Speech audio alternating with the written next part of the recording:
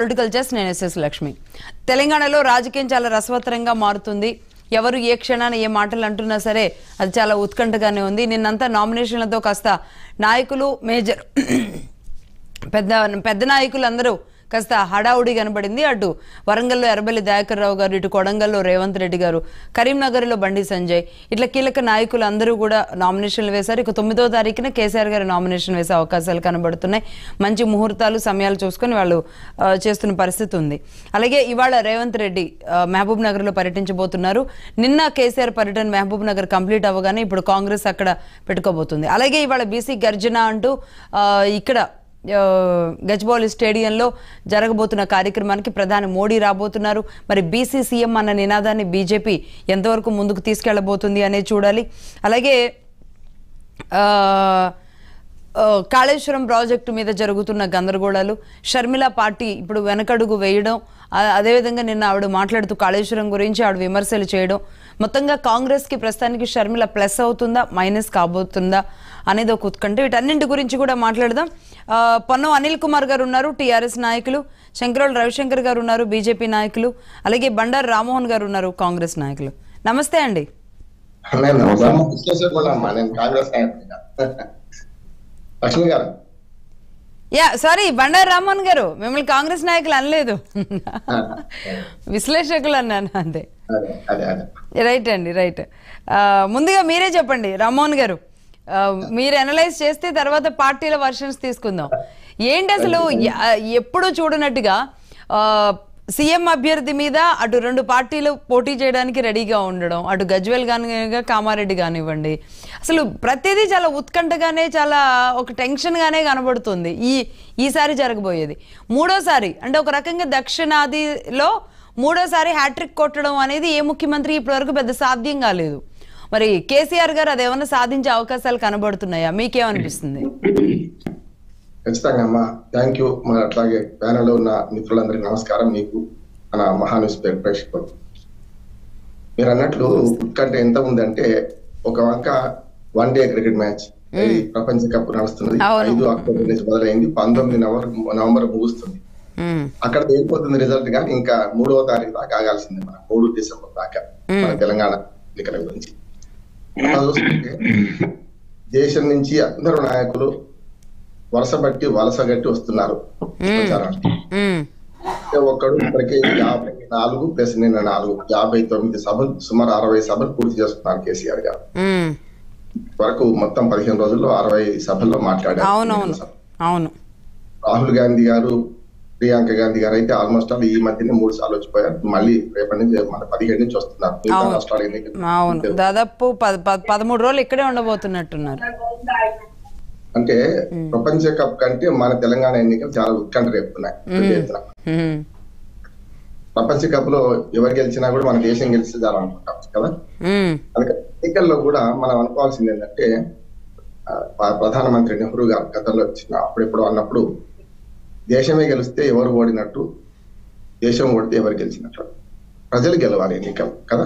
అంతిమంగా ప్రజలు. కనుక ప్రజలు గెలవాలంటే పార్టీలు అందరి సంగతులు చూస్తున్నారు. సబ్కా సున్నా అప్నా కర్నా చూస్తున్నారు. ఈ సంచలనాలు ఇవన్నీ కూడా నేనైతే ఆల్మోస్ట్ ఆల్ ఇప్పుడు ఎన్నికలు అంటే నామినేషన్ పూర్తి కాకముందే ఒక రౌండ్ వేసి వచ్చాను ఎన్నికల నిఘా కమిటీ తరఫున మళ్ళీ నామినేషన్ల తర్వాత పోతారు ఇవన్నీ చూస్తే నాకు అంత అర్థమవుతుంది ఏంటంటే మన పై పై చర్చలన్నీ లోపలికి ఈ పై పై చర్చలు ఈ సర్వేలు అన్ని కూడా మన మన వరకే మీడియా వరకు లేకుంటే చదువుకున్న వాళ్ళ వరకే.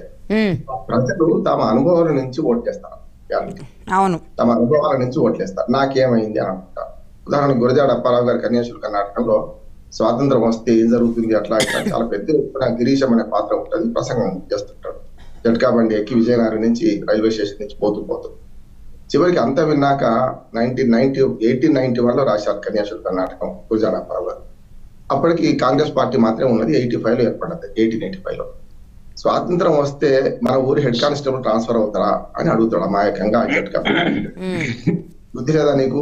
మన హెడ్ కానిస్ హెడ్ కానిస్టేబుల్కు స్వాతంత్రానికి ఏం సంబంధం? స్వాతంత్రం వస్తే మనం స్వేచ్ఛా వాయువులు పిలుస్తాం బ్రిటిష్ వాళ్ళు వెళ్ళిపోతారని చాలా మాటలు ప్రసంగిస్తారు మ్మ్. అవన్నీ వద్దండి. నాకు రోజు అనా లంచం తీసుకుంటున్నాడు హెడ్ కానిస్టేబుల్ రైల్వే స్టేషన్ ముందు బండి పెట్టుకున్నందుకు నాకు ఆ లంచం తప్పాలంటే హెడ్ కానిస్టేబుల్ ట్రాన్స్ఫర్ కావాలంట. మ్మ్. ఎందుకు చెప్పారంటే ప్రజలు తమ అనుభవాల నుంచే రాజకీయాన్ని చూస్తారు. మెరుగులు ఇవన్నీ చూడరు. కనుక అక్కడి నుంచి మొదలు పెట్టాలి. ఇవాళ నిజంగానే బీఆర్ఎస్కు టీఆర్ఎస్కు విషయం పరీక్ష. రెండు సార్లు అధికారంలో ఉన్నది. ఖచ్చితంగా యాంటీ ఇన్కంబరెన్స్ ఓట్లు ఉంటాయి. ప్రభుత్వ వ్యతిరేక ఓట్లు ఉంటాయి. పదేళ్ళు రాజకీయం చేసిన తర్వాత అందరూ మంచి అన్నారు అందరూ చెడ్డ మ్మ్. అందుకని ఇవాళ వ్యతిరేకతను ఎదుర్కొంటుంది ముఖ్యంగా నా సర్వేలో తెలిసింది ఏంటంటే ఈ యువత ముప్పై ఏళ్ళ లోపు యువత ఖచ్చితంగా టిఆర్ఎస్ వ్యతిరేకంగా ఉన్నారు. నలభై దాటిన వాళ్ళు చాలా మంది పాజిటివ్గా ఉన్నారు. ముప్పై నలభై మధ్యన కొంచెం అంబిగ్విటీ ఉన్నారు. కొంచెం అటు ఇటుగా ఉన్నారు. అట్లా అంటే గతంలో కంటే బీఆర్ఎస్ టీఆర్ఎస్ ప్రభ కొంచెం తగ్గింది ఖచ్చితంగా. అట్లానే మూడు ముక్కల ఆట నుంచి మెల్లమెల్లగా రెండు ముక్కల ఆటకు వస్తుంది రాజకీయం అంతా కూడా. అంటే ఒక్కసారి ఎప్పుడు కూడా నేను ఎప్పుడు చెప్తుంటాను మూడు నదుల సంఘం త్రివేణి సంగమంలో ఒక నది ఉండదు. సరస్వతి నది అంతర్వాహిని లాగానే రైట్ కాళేశ్వరం దగ్గర కనుక ఉన్నట్టు అంతర్వాహిని లాగా పోతుంది. అంటే మూడు పార్టీలు బలంగా ఉన్నప్పుడు వేరుగా ఉంటాయి. కానీ మూడు పార్టీలు ఏదో ఒక పార్టీని వీక్ చేస్తారు కొంచెం హంగ్ హంగ్ అసెంబ్లీ రాకుండా. కర్ణాటక చూసాం మనం. కర్ణాటకలో ప్రతిసారి హంగు రావడము లేకపోతే వీళ్ళు వాళ్ళు కొట్లాడుకోవడం ఎవరో వాళ్ళు అధికారంలో రావడం నాలుగు రోజులు దిగిపోవడం. తమిళనాడులో కూడా అవును. ఎక్కడైతే కర్ణాటక కర్ణాటకలో? ఏం చేశారు? జేడీఎస్ను పూర్తిగా తొక్కేశారు. నలభై సీట్ నలభై ఏడు సీట్లు వచ్చిన సందర్భం ఉన్నాయి జేడీఎస్కి ఉన్న రెండు వందల ఇరవై నాలుగు సీట్లలో నలభై ఏడు సీట్లు అంటే చాలా కీలకమైనవి కదా. ప్రతిసారి హంగ్ ఏర్పడము లేకుంటే ఎవరిని ఎవరు వీళ్ళు పొత్తులు కాకపోవడము మెజార్టీ లేకుండా కూడా కుమారస్వామి గారు ఒకసారి మా ముఖ్యమంత్రి కూడా అయ్యారు. కనుక ఏమవుతుందంటే మెల్లగా ప్రజలు గమనించి ఈ ఒక్క పార్టీని తొక్కితే మిగతా రెండు పార్టీలు సమానంగా ఉంటాయని చెప్పారు బీజేపీ కాంగ్రెస్ మధ్యన పోటీ పెట్టారు కాంగ్రెస్ గెలిచింది. ఇప్పుడు ఇక్కడ కూడా హంగ్ హంగ్ చాలా మంది అంటున్నారు నా ఉద్దేశం హంగ్ రాదు. కాకపోతే బీజేపీ ప్రభ గత ఆరు నెలలకు తగ్గింది. బండి సంజయ్ మార్చిన తర్వాత బాగా. తగ్గింది. ఒక రకంగా కాంగ్రెస్ పెరిగింది అయితే ఈ మూడు ముక్కలు ఆడించి రెండు ముక్కలు ఆడించడంలో రాజకీయ సమీకరణలు మారుతుంది మారుతున్నాయి. ఒక రెండు నిమిషాలు నేను చెప్పి ముగిస్తాను రాజకీయ సమీకరణలు కూడా మారు- మారుతున్నాయి. మ్మ్. ఎంత పెద్ద ఎత్తున మారుతున్నాయంటే ఒకే ఒక శత్రువు బీఆర్ఎస్ను ఓడించాలి. ఓడించాలంటే సమీకరణలన్నీ మారి అందుకని షర్మిల బేషరతుగా కాంగ్రెస్ మద్దతు ఇవ్వడం పవన్ కళ్యాణ్ ముప్పై మూడు సీట్లకు పోటీ చేస్తా అన్నవాడు తొమ్మిదో పదికో ఒప్పుకొని బీజేపీ మద్దతు ఇవ్వడం ఇవన్నీ సమీకరణలు మారుతున్నాయి. ఈ సమీకరణలో ఒకటే ఒక లక్ష్యం ఏంటంటే కేసీఆర్ను ఓడించాలి. అందరు మిగతా అందరు. అంటే మిగతా పక్షాలని కేసీఆర్ను ఓడించాలని ఒకే ఒక లక్ష్యంతో పోతున్నారు ఎప్పుడు కూడా ఎదుటి వారి బలహీనతలను ఆసరా చేసుకొని రాజకీయం చేస్తే సఫలం సఫలం కాదు. మన బలాలను కూడా మనం చూసుకోవాలి. అందుకని ఏమవుతుంది ఇప్పుడు? ఏ టీం ఎవరికి బి టీం ఎవరికి అంటే వాళ్ళ బిగ్ బాస్ ఎవరంటే కేసీఆర్ చుట్టే రాజకీయాలు జరుగుతున్నాయి. తెలంగాణ రాష్ట్రం చుట్టే రాజకీయాలు జరుగుతున్నాయి. మ్మ్. ఇది సరైన కాదంటున్నాను. ఎందుకంటే ప్రజల చుట్టూ తన తన శత్రువుని తానే నిర్దేశించుకోగలుగుతున్నారు తను ఎక్కడ గెలవాలో తను నిర్దేశిస్తున్నారు. ఏదైనా సరే ఒక రకంగా తన తన చేత్తో తెలంగాణ రాజకీయాన్ని ఇలా పట్టుకున్నారు. అందులో పార్టీలు అన్నీ ఉన్నాయి. బిగ్ బాస్ ఎవరు అంటే తెలంగాణ రాజకీయాలలో కేసీఆర్. మాట్లాడకపోయిన వార్తే. మాట్లాడిన. రైట్ అండి. ఆ, పొన్నం అనిల్ గారు. నమస్కారం మేడం. Good morning. ప్యానెల్లో ఉన్న